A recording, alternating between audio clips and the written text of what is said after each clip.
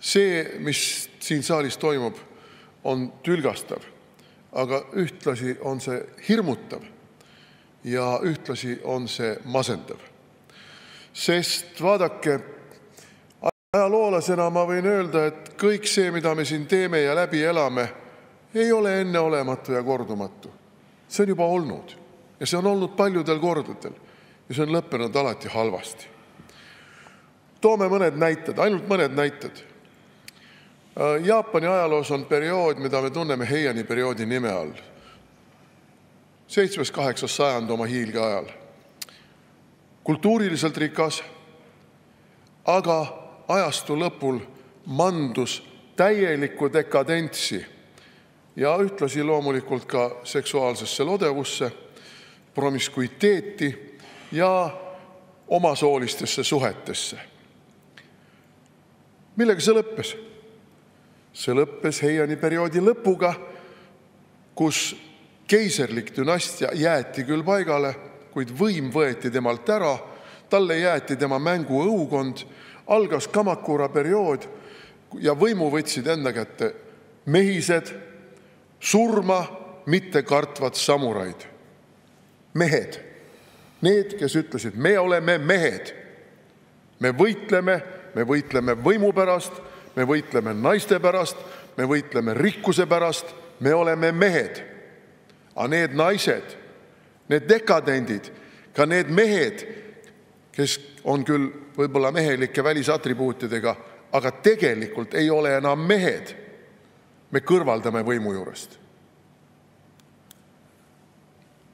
toome lähema näite. suur Prantsuse revolutsioon, nagu teda Nõukogude ajalooteaduses nimetati. no nimetame teda lihtsalt Prantsuse revolutsiooniks. ka seal toimus ju täielik mandumine, täielik dekadents. aadlimehed, aadlinaised, no ega vahet suurt ei teinud. moed olid sarnased, kombed olid sarnased, seksuaalne läbikäimine oli promiskuiteetne. lugege Marquis de Sade'i, seal on ikka nii ausalt öeldes tülgastavalt värvikaid kirjeldusi erinevatest seksuaalse rahulduse saamise moodustest. et mõtled, kas, see on inimlik, et niisuguste asjade peale on tuldud? ei, see ei ole inimlik, see on totaalselt perversne. ja millega see lõppes? suure Prantsuse revolutsiooniga lõppes, lõppes selle dekadentliku kliki kukutamisega ja lõppes ka sellega, et vaene Louis XVI, kes tegelikult lõpuni ei saanud aru, mis ta valesti on teinud või valesti lasknud teha, lõpetas giljotiini all. sellega lõppes see eksperiment. tuleme veel lähemale või tuleme kaugemale, ükskõik kuidas me võtame. võtame Vana-Rooma. Rooma ehitas oma impeeriumi üles meheliku energiaga ja väga selge soo jaotusega: matroonid ja patroonid.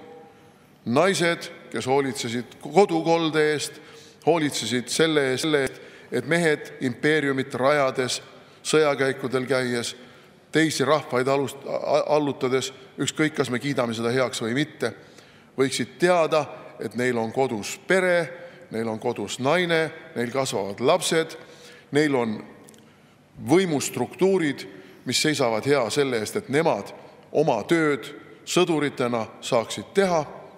ja see ühiskond arenes, jõudis tohutute tehnoloogiliste uuendusteni, kuni ta lõpuks mandus. paluks lisaaega. kolm minutit lisaaega, palun. kuni ta lõpuks mandus ja mandus täpselt samamoodi sellesse lodevusse, sellesse seksuaalsesse minnalaskmisse, sellesse intsesti, aga selle intsestiga koos veel ka, täiesti perverteerunud võimuvõitlusesse, kus emad tapsid oma poegi, mürgitasid oma abikaasasid, mehed mürgitasid oma naisi ja, nii edasi. see oli see ühiskond. ja nüüd tuleme ikkagi ligemale.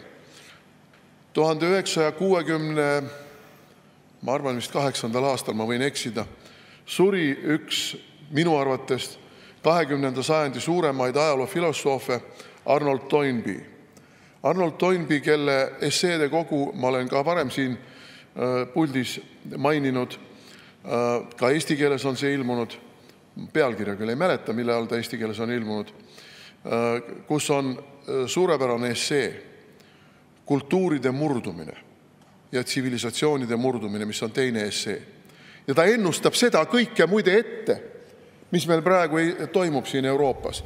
Ta ennustab ette pervertide võidukäiku ja ta ütleb, et ma ei taha sellesse uskuda, aga kõik räägib selle kasuks, et Euroopa tsivilisatsioon on määratud hukkuma. Ja kui me nüüd kokku võtame selle kõik, kõik need näited, mida me ei saa ju siin üksikasjaliselt lahata, siis missuguse järelduse me teeme?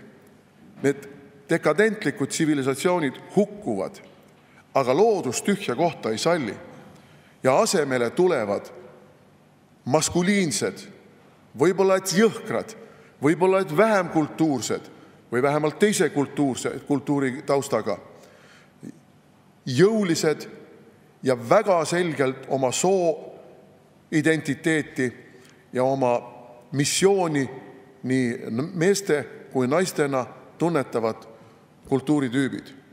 Ja see juhtub ja see juhtub juba praegu ka Euroopas, kallid sõbrad. Tehke silmad lahti ja vaadake. Teietaolised kulla sõbrad, liberaalid, moslemid hakkavad teid ühel hetkel tänavatel taga ajama ja lihtsalt maha lööma. Lihtsalt maha lööma, sest nemad võtavad selle dekadentliku tsivilisatsiooni ja kultuuri üle, nii nagu Jaapanis samuraid, nii nagu mitmel pool mujal, nii nagu barbarid Rooma. Ja rääkige siis neile inimõigustest, rääkige siis neile võrdsusest, rääkige neile siis armastusest. mees võib meest armastada. unustasin rääkida ka Kreeka kultuuri allakäigust. Sparta, Ateena, täpselt samad põhjused, miks nad hävisid. asemele tuli Makedoonia, maskuliinne, jõuline, sõjakas.